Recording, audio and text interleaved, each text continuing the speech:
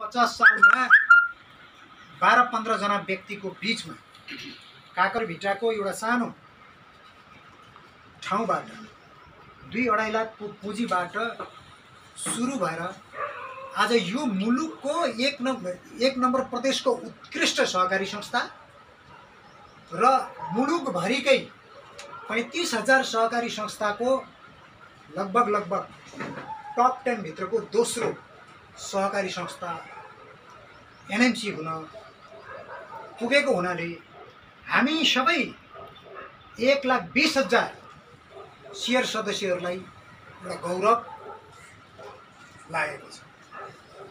आज एउटा सानो ठाउँमा सहकारी त्यतिखेर त्यतिखेर भर्खर भर्खर बामे सर्दै थियो होला नेपालमा। आर्थिक क्रान्तिहरू हुन बाँकी नै थियो होला।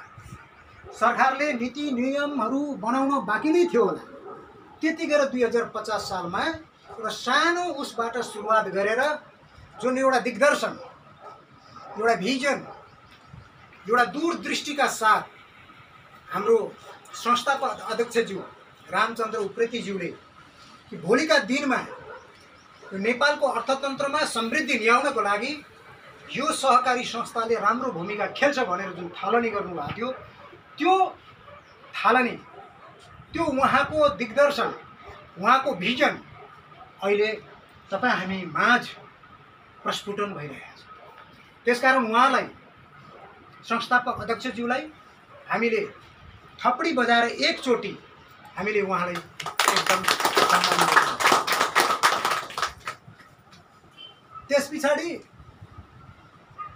हाम्रा दुई हजार पचास सालदेखि अहिलेको दुई हजार अठहत्तर सालसम्म यो संस्थालाई एकदम नाफामूलक रूपमा लाने र अरू पनि व्यवसायहरू भित्र्याउने काम जुन ब्याङ्किङ पाटोले गरौँ त्यसकारण हाम्रो संस्थाका सम्पूर्ण कर्मचारीहरूलाई पनि थप्पडी बजाएर एकचोटि फेरि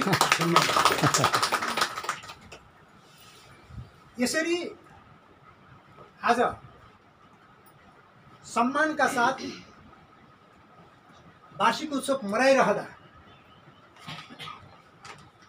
केन्द्रीय कार्यालयले एउटा गाइडलाइन हामीले दिएको छ। त्यो गाइडलाइनभित्र बुदागत रूपमा केही बुदाहरू यहाँ टिपोट गरेर हाम्रो हातमा दिएको छ त्यो कार्यालय प्रमुखहरूलाई नदिकन हाम्रो व्यक्तिगत इमेलहरूमा चाहिँ कर्पोरेट अफिसले पठाइदिएको थियो हिजो। हिजो मैले यो निकालेर अध्ययन गर्दाखेरि निकै लामो छ यो। यसलाई व्याख्या गर्नु पर्दाखेरि करिबन करिबन डेढदेखि दुई घन्टा लाग्छ। तर म यहाँको समय धेर दिन्न यहाँहरू संस्था सम्बन्धी धेरै जानकार हुनुहुन्छ र संस्थाले लिएका गरेका तपाईँ हामी सबै देखिरहेका छौँ। तर पनि म संक्षिप्त रूपमा त्यसलाई अलिकति टच गर्ने प्रयास म गर्दछु। सर्वप्रथम डेरी एकीकृत नमुना फर्म र चिया व्यवसायको तिनवटा व्यवसाय र अडचालिसवटा सेवा केन्द्र झापा मोरङ इलाम। तिनटैमा लगाएर जम्मा जम्मी एकाउन्न ठाउँमा यो हाम्रो वार्षिक उत्सव हुन गइरहेको छ। यो किन भयो त? पहिलाका सालहरूमा चाहिँ भव्य सभ्य रूपमा हामी एकै ठाउँमा हजारौँको रूपमा चाहिँ हामी चाहिँ उपस्थित भएर चाहिँ यो उत्सव हामी मनाउँछौँ। तर यो कार्यालय कार्यालयमा चाहिँ खुम्चिनु पर्ने कारण के त? भने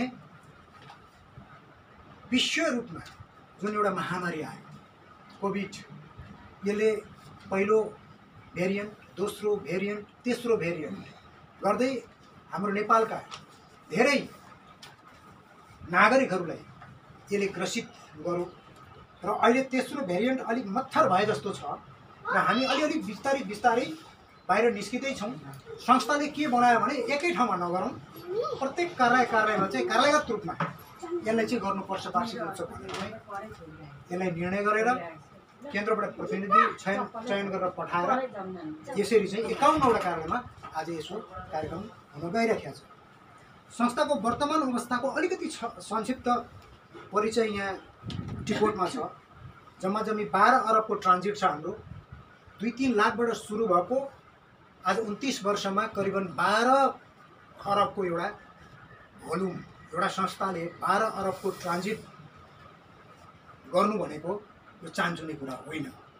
यो हाम्रो पाइलट प्लेन हाँक्ने पाइलट र पाइलटमा बस्ने सही प्यासेन्जर पेसेन्जरको तजबिजले यो प्लेन चाहिँ सही गन्तव्यमा पुग्न सफल भएको त्यसकारण जम्मा जम्मी एक लाख बिस हजार जति अहिलेसम्म सदस्य सङ्ख्या पुगेको छ एक अरब अठाइस करोड त हाम्रो सेयर पुँजी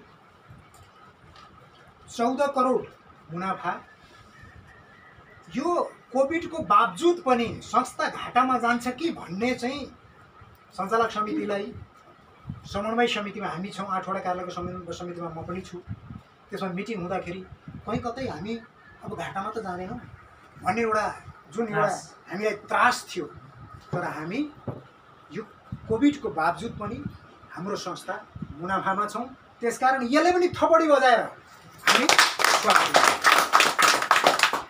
जम्मा जम्मी नौ सय जति कर्मचारी अहिले कार्यरत छन् संस्थाभरि यसको कार्यक्षेत्र तिनवटा जिल्लामा विस्तार भइराखेको छ छिमेकी जिल्ला इलाम र मोरङको सम्पूर्ण गाउँ विकास र नगरपालिकामा विस्तार भइरहेको छ। इलामको फिक्कल दानाबारी मङ्गलबारी मङ्गलबारी इलाम बजार नयाँ बजार साथै मोरङको उर्लाबारी दाम्राभिटा कालीकोशीका कालीकोशीमा सेवा केन्द्र सञ्चालनमा रहेकाले झापा जिल्लाबाट इलाम र मोरङ जिल्लामा समेत अन्तर कार्यालय कारोबार सञ्चालनको सुविधा पनि रहेको छ।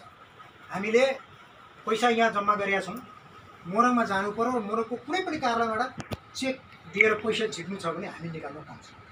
त्यो सुविधा अहिले गरिया छ। एटिएम जाँदा छ त्यो पैसा हामी निकाल्न सक्छौँ। त्यसकारण कारोबारको विस्तार पनि भइरहेको छ।